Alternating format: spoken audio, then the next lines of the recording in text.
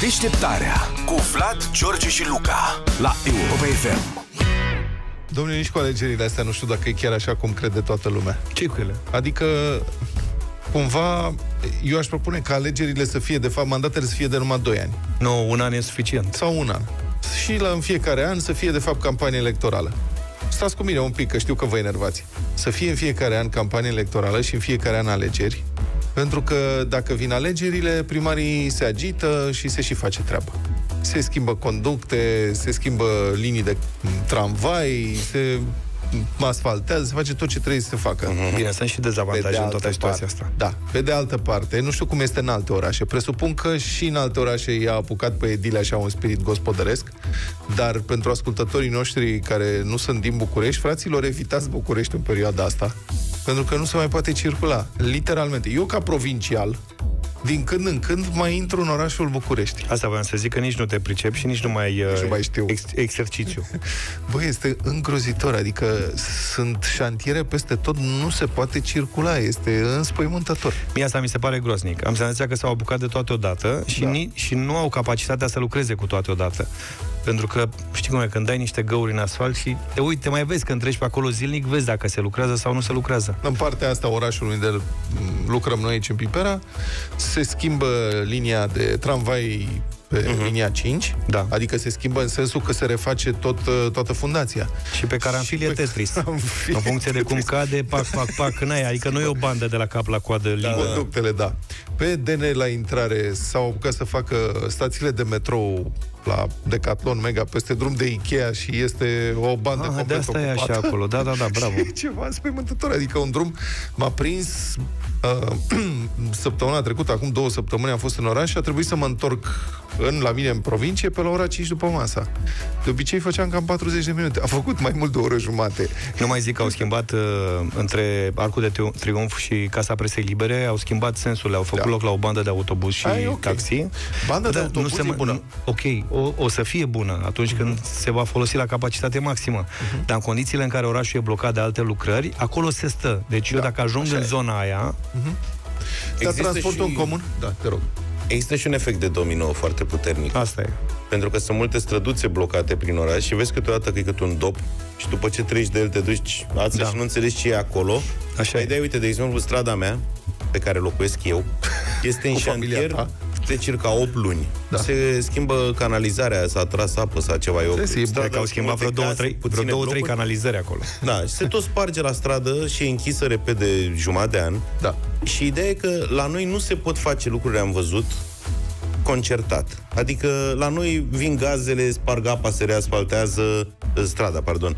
După șase luni vine apa, sparg strada, se reasfaltează. Pentru că progresul- Se pierd bani Pentru că aiurea. progresul e continuu, asta nu înțelegi tu. Da. Și în plus, de exemplu, la mine acolo sunt patru străzi. Patru străzi paralele cu sensuri unice. Mm. Acum că e închisă strada asta, nu i-a tăiat capul să refacă sensurile sau să re- repună sens dublu pe străzile respective, care au fost cu sens dublu până cu jumătate de an. Uh-huh.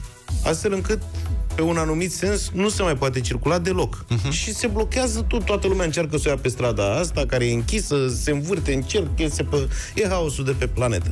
Nu se, trebuie să, e evident că trebuie să călătorim doar cu transportul în comun în marile orașe. Eu aș face asta dacă Și eu aș Bucureștiul, ca mare capitală, trebuie să recunoaștem. București arată altfel față de acum 10-20 de ani și tot așa.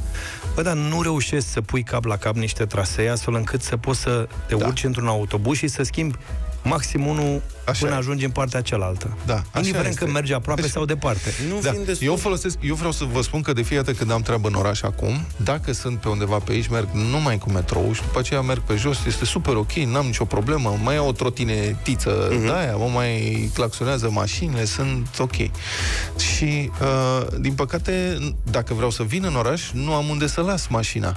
M-am gândit să vin cu trenul. La străulești. Au, um, ăla cum Ca se să ajung la Străulești, îmi trebuie Înțelegi? o oră. Adică Păi e mai treaba. bine vin direct Aici cu mașina. e greșeala ta. Păi nu, asta este problema, știi? Că dacă ai Că de acolo ales- e metrou și poți să mai diversifici un pic. Da, da, practic diferența este de 10 minute, un sfert de oră. Dacă vreau să vin cu trenul, e ok, pot să iau de la Buftea sau de la aeroport de la Autopeni, adică sunt deja două opțiuni. Numai că ele mă duc la gara de nord, unde practic n-am niciodată treabă decât dacă vreau să plec din oraș. Doi, nu există parcări, adică n-am unde să las mașina acolo, trebuie să o las pe câmp cumva, știi? Uh, am avut mari speranțe în privința metroului de la Otopeni până în București, că O au să început vină. să lucreze, o să vină la un moment dat. Problema este că metroul care vine în București, el se duce undeva pe un bulevard care se cheamă 1 mai și după aia la Gara de Nord. De ce oare nu se conectează cu partea în care, cu centrul orașului? Nu știu. Adică... Adică, Seama, dar poți să-l schimbi, aia nu-i problemă. Că schimbi la gară, mai schimbi o dată la Victoria, asta Da, e dar vezi că o să depinzi de frecvența metrourilor în zona respectivă, care nu e durează de tocmai mare. nebunești din nou. Și în marile orașe europene se întâmplă asta. Ai de schimba câteodată două, trei magistrale da. ca să ajungi undeva. Sigur că e alta frecvență și frecvența e o problemă la noi. Să mai bage, domne, tramvaie. Tramvaie, Filmul da. se duce la Polo cu tramvaiul sau cu autobuzul Foarte- de la Obor, unde e o linie importantă de linia 1 de tramvai care ajunge până la Piața Victoriei. Și tramvaiul și autobuzul vin la 10-15 minute. Uh-huh. Adică stă ăsta în stație de ratează antrenamentul câteodată și mă ia capul, că e ora de vârf, da. pleacă la 6 de acasă. Cineva a identificat problema. Dacă nu cunoști Bucureștiul și nici nu știi puțină nepaleză, ai cam încurcat-o. Asta clar. Da, Da, că a intervenit și să vorbim problema asta, despre- trebuie să recunoaștem. Sunt o mulțime de cetățeni pe care îi salutăm și nu avem absolut păi, nimic cu dăm ei. vina pe ei acum că se Dar merge prost în oraș, ce să spun. Circulă într-un mod uh, Da, ci îngrozitor. cosmetic, dar nu Ia e la să ei să... descurcăreți, mă, că ei sunt Da. învățați cu greu și Regulile, descurcăreți. sunt regulile lor de acasă. Da. Da. Prieteni, folosiți transportul în comun? În primul rând, cum e la voi în oraș, am vrea să știm. Acum că se apropie alegerile, 0372 069 599, sunați-ne și spuneți-ne dacă simțiți că la voi în oraș brusc pe primari i-a apucat febra construcțiilor, investițiilor, dacă sunt șantiere acum și dacă v-ar plăcea să fie alegeri totuși Hai, la 2 ani odată, să fie mandate de maximum 2 ani. Că în felul ăsta poate că ar face mai des treaba. Așa, doar o dată la 4 ani se face și nasal. N-am mai avea liniște, îți dai seama, de în 2 în 2 ani spia 0372 069 599 Chiar avem nevoie de experiențele voastre Da. din diferite orașe ale Ce se țării. întâmplă în orașul în care locuiți, dacă se fac investiții și, doi, dacă folosiți transportul în comun și dacă nu, de ce nu? Care este motivul pentru care nu folosiți transportul în comun? Eu am explicat, eu din Corbeanca am un autobuz care mă duce până în piața presei libere, dar ca să ajung după aceea în Pipera, îmi trebuie mai mult decât mi-ar trebui cu mașina, chiar și în condițiile astea. Deci este ineficient. Dacă folosiți transportul în comun, de ce nu?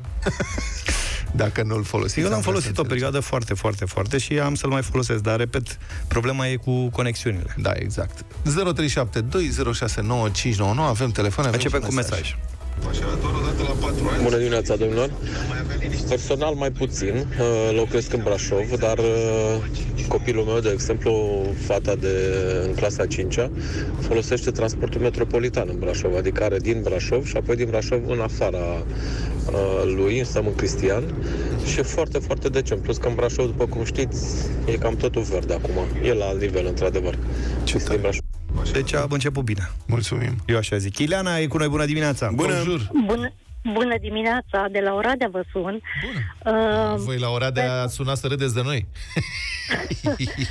cam așa, nu, nu cam așa. Vreau doar să vă spun uh, să fiți optimiști, să priviți partea bună a lucrurilor, Da. uh, în sensul în care la final totul va fi bine. uh, de ce vă spun asta? E ușor să spui Uh, ca o rădeancă. Fii optimist. Nu, nu, stați, stați, stați. Eu m-am mutat din București la Oradea. Așa. de vreo 20 de ani și de când a venit domnul Bolojan suntem într-o și ur- se- succesorul dânsului suntem într-un uh, șantier continuu. Normal că la început ne-a fost greu uh, și acum suntem în șantiere, dar uh, uh, Oradea s-a transformat foarte mult, foarte mult și în bine. Din punctul meu de vedere s-a transformat în bine, Păi știu. de aia nici nu vreau să mă mai mult la București, deși am avut ocazia și uh, părinții mei au rămas acolo și nici măcar în vacanțe nu apuc să... Știm, nici nu să vreau știți mai că ajung vă acolo. invidiem sincer și vă respectăm pentru ce ați făcut acolo. Orașul arată foarte bine. Eu cred că s-a mutat acolo, așteaptă să facă băieții Bucureștiu și se mută la loc. Nu dați, Că altfel nu mi mi-a explic. plăcut, ziceți, să fiți optimiști. Da, să Da, da, fim da. optimiști. În schimb, uite, la Târgu Mureș am primit uh, din teritoriu de la Sorin mesaj. Mm. E bombardat pe o arteră principală. Odată cu asta, să modificarea ale străzilor în sens unic este un haos total. E împânzit de semafoare, care numai inteligente nu sunt. Stai, de exemplu, la două noaptea la semafor să iasă cei din parcare de la mall, care evident e închis de mult.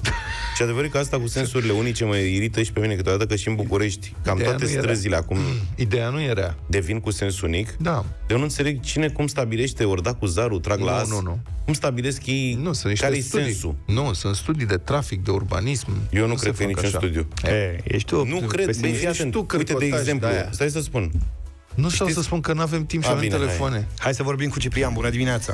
Uh, Bună, bună dimineața, băieți. Salut. Dacă, interlocu- dacă interlocutoarea o sunat din Oradea, eu vă sun din partea opusă a țării, vă sun de la Bacău da. și nu știu cum se face, dar probabil uh, este doar o coincidență. Da. Uh, Primarul nostru a făcut recepția la Aqua Parcul, Aqua Parcul de pe insulă. Da. Așa? Uh, a început, a început să dărâme garajele, uh, a început să mai peticească pe aici pe acolo, dar uh, probabil e doar o coincidență. De Păi ce? nu, Că nu înțeleg prin dacă e de bine sau de rău ce spui. Exact. E de bine, e de Ah, bine, e păi de da. bine. Uh, De rău este că ne-a cam uh, strâmtorat orașul cu pistele de biciclete, cam toată lumea e supărată. Nu să folosiți știți că bicicleta dacă, acolo. dacă se creează infrastructura asta, oamenii vor începe să le folosească și veți descoperi că e mai bine. Adică deja în România, bun, poate în Bacău nu. Dar uh, în partea asta de țară mai sud, încoace, vremea permite folosirea bicicletei, cred că 90% din timp. Ciprian, la voi centura e autostradă, practic, adică aveți toate motivele să vă bucurați acolo. Da, să vedeți ce A, centură da, avem noi. aici, aici da, aici da. Și chiar așteptăm să finalizeze autostrada care duce spre, spre București. Atunci spre o să Buzău, fie e încolo. boierie. Râm, râm. Da. Mai fac una și încolo spre Transilvania. Mamă, Și să, să te ții. Moldova o să fie rege. Ei, mai mult până acolo, hai că mai avem mesaje. Ia. Bună dimineața, Costel din Bacău sunt.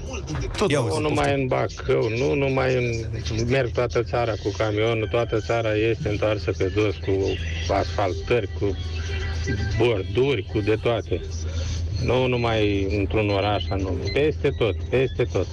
Febra alegerilor. Pe asta, Așa este. eu spun să fie mai des alegerile, că dacă sunt mai des, atunci, na, cât o să lucrează, o să fie 10 ani nebunie și după care nu fac decât să întrețină. Dar nu putem avea o reconfirmare odată la 2 ani măcar? Chestii de genul ăsta? Ha? Există alegeri parțiale pentru Parlament, când sunt mandate, de exemplu, sunt țări care au mandate de parlamentar de 6 ani și la câte 2 ani renuiesc o treime din uh, Vreau să mă dau și eu deștept. parlamentari. Mai vrei să zici ceva? Vreau să spun că la Râmnicu Vâlcea, ne scrie Ionuț, transportul în comun este rezolvat, avem autobuze noi, foarte multe trasee, traficul e sistematizat atât pentru autobuze cât și pentru autopietoni. Uh, Transportul e gratuit pentru pensionari și elevi și nu știu ce, frecvența în stații foarte ok, toată lumea are cartelă sau poate plăti cu telefonul mobil pe dispozitive Wi-Fi și avem și aer condiționat. Și la noi se poate plăti, și în București se poate Și la noi plăti merge, cu da, cartelă și pe peste tot. SMS, și cu card, și cu orice. Sincer să fiu, eu nu cred în asta cu transportul în comun gratuit. Dar poate că e un pas necesar ca să Și încurajezi în lumea să-l București pentru folosească. elevi și pensionari, da. Da, ne oprim aici. Cu această ocazie ne Iar nu mai oprim avem mai... timp. Păi nu mai avem timp ce să facem. Suntem și noi aglomerați precum transportul în comun din fiecare oraș, mai ales Bucureștiul. Deșteptarea cu Vlad, George și Luca la Europa FM.